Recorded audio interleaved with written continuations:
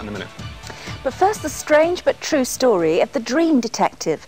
Christopher Robinson foretells the future in his dreams. He accurately predicted the Twin Towers atrocity in New York on September the 11th, the murder of Jill Dando, and many, many more incidents, like the horrific air show accident he dreamt about in July 1993. Days later, this terrible plane crash took place at Fairford Airfield, where two planes collided head on at 300 miles per hour.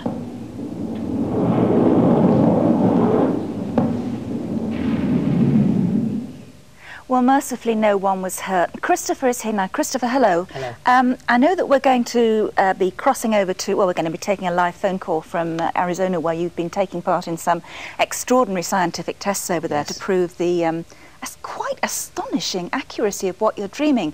But when did when did this? Uh, we've, I know we've we've met you before. This start didn't start at all until you were what in your thirties? Uh, yeah, I was about 35 when it started. You've no idea why. No, we don't have any idea why. And I mean, we speculate on all sorts of things, but no real idea. What was your first precognitive The dream? first one was Chernobyl, and then there was Lockerbie, and then it moved into um, 1989 when I was dreaming about IRA bombs and things going off all over the place. So from 18, from September 89, it was like every day. And these dreams take different forms. Sometimes you're at, at the site of, whatever's going to happen. Yes. Uh, sometimes you're observing it. Yeah, sometimes you're observing it, sometimes you're taking the role of the people as well. So, um, I mean, in the early days, I would dream that somebody was going to be murdered, and in the dream, I was the one being killed.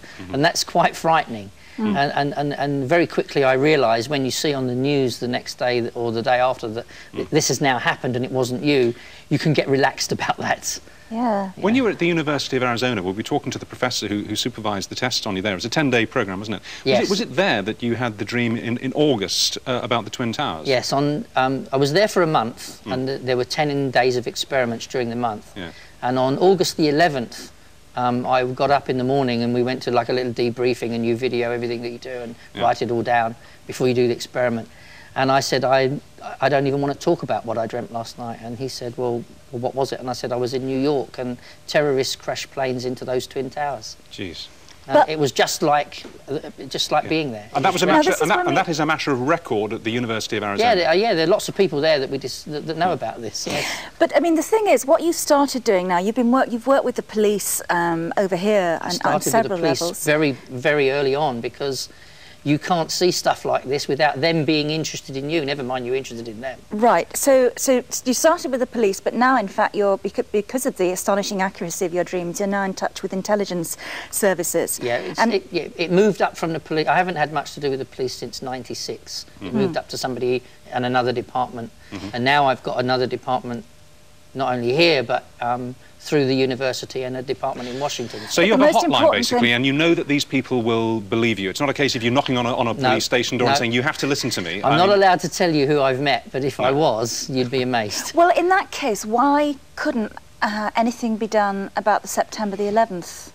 Well, from our point of view at the university, it was just one dream that we didn't want to talk about, No. and we didn't Because of panic. because uh, of yeah. because of all sorts of things. But you So we- did inform the you did inform the authorities. Um, th- there was somebody who is connected to the authorities that was overseeing partly the experiment. But one has I to say- don't know much about that. The professor No. would need to. Tell One has you. to say there, there were many pieces of, uh, of, of intelligence Well, there were- uh, material yeah. pointing to the Twin Towers happening Yeah. that were never acted They on. We know actually that now. arrested a man in Manila with the details of it in his pocket and didn't Yeah, do yeah. anything. I No, believe you also had a dream about this latest um, uh, dirty bomb arrest in uh, in America. Well, that's why I was. One of the reasons I went to Washington was to try and focus on Washington because I'd seen Washington This is after, as a this target. Is, this is after you were in Arizona. yes, They this is took you- February. They brought you over to... Uh, I went over to Washington Right, go on. and I met with um, a lady there who works with an intelligence agency. Yes. Yeah. and we had sort of, I suppose, uh, well, we had two weeks together, and I was seeing this incident that was going to, we thought was going to take place in Washington. Mm-hmm. So we did as much as we could to work on that.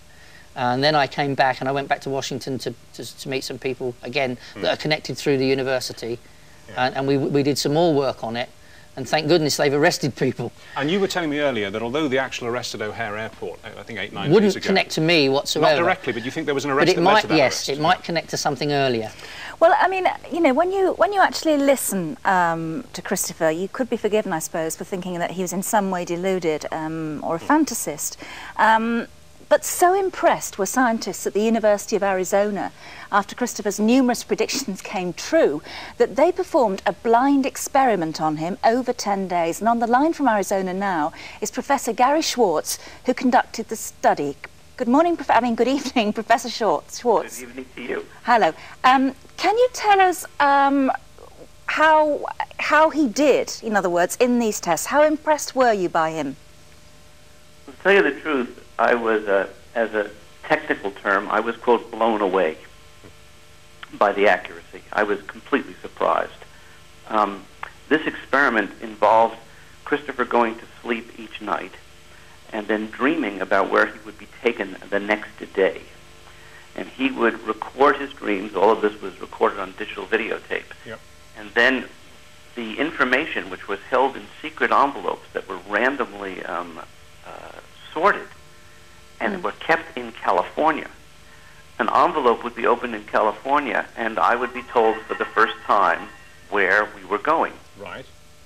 So, at the time that this information was being received, of course, it, you know, I, the truth was I I had no idea where we were going to go on any given day. Mm. The same was with Christopher, and day after day, he received highly specific information that that uh, that was related to the process of going to the site, information at the site, Mm. and then continued a- information for the rest of the day, even though the experiment was, so to speak, officially completed. So, in other words, he had lucid, logical, cogent dreams that the night before he was taken to a secret location of those locations. He saw in advance where he couldn't possibly have known consciously where he was going to be taken. That's correct. Now, also, you should understand that if he had gotten, for example, even five out of ten correct, Hmm. um, it would have been extraordinary. Hmm. And that's and he he was expecting that if he did well, that's what would happen.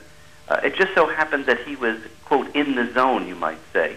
He was very motivated, as was I, to push Hmm. his talent to the extreme. Prof- And it Professor, turned he was actually accurate ten out of ten. 10 out of 10. out of 10. Professor, what the heck is going on? Well, of course, the answer, the truth is that nobody knows. However, it has been long known, actually throughout recorded history, that certain individuals have what are called precognitive dreams. That is, they can, quote, see the future. And the question has been, are they, quote, if you would, reading the minds of people who are perpetrating, uh, potentially perpetrating a crime? Are they, quote, tapping into, you know, information in the universe about past, present, and future Yeah. in some sort of way? Or are they actually receiving intelligent assistance from people who have died, as well as more highly intelligent sources? Yes. that would provide this information. And by the way, at, at this point, all the hypotheses are, are, are plausible.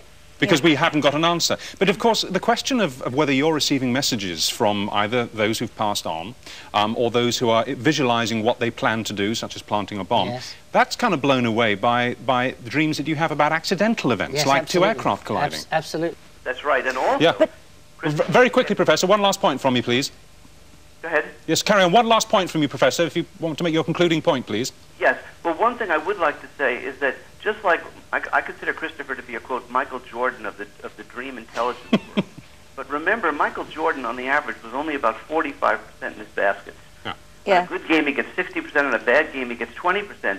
And so you're never going to judge even a superstar athlete on how they do in any single test. Okay. Okay, And thank so therefore, when you know when you do an experiment with him, whether or not it quote works is not itself a scientific test. Right. It is just an evaluation, you know, a demonstration. Okay, thank you. Thank, you for very that. much. Um, that, that is extraordinary. We're going to do something similar to that with you ourselves tonight. Yesterday we asked you if you would uh, make yourself dream. I don't know how you do this, but if you if you could make yourself dream of a specific secret location um, to which we will take you today. Yes, that's right. Yes. And did you do that? I did. And Whether it's right, we have to see. Well, Well, 10 out of 10 ain't bad so far. No, I know. now you have you've you wrote down I've written what the you dreamed. fundamentals of the dreams on some cards, which are in here. Right. If you And- give those and- to and us. My, the original dream notes are are back in, in my folder. All right, well, you've, written, you've written down the essential information of what you saw in the dream. The fundamental key Yeah, words. The if key words, like. the key images, Yes, okay. yes. Have you done a Um, drawing as well? Uh, yes, there are two drawings in there, if I remember. Well, let's just sign the back of this envelope along the seal. Gee. Um, so, because we have no idea what's in this envelope. We haven't opened it, and there you are. It's completely and utterly sealed up now. Could you now put your blindfold on. Yes. please? Thank you. Polly, would you come forward? Polly, uh, who's one of our researchers on the programme, is going to uh, take you to the secret location, Yes. um, which isn't too far from here, but of course it could be one of hundreds. Here we are in South London, just south of the capital centre, and uh, he can't hear anymore. Good. And Polly, you're going to you're going to take him there. We've got a car standing by. Mm-hmm. It could be one of any locations in central London, correct? Okay, Polly, if Polly. you'd like to take him out, I him by the he's arm. going to need a bit of see or hear. assistance because he can't see. All right. Okay, well done, Paul. Okay. And we will be going live to that secret location, which only one or two people on this programme know. Um, uh, Not us. Not us, uh, towards the end of the programme. But 10 out of 10, he ought to have, he ought to have got it right. Okay, absolutely no predictions on who will be playing You Say We Pay later.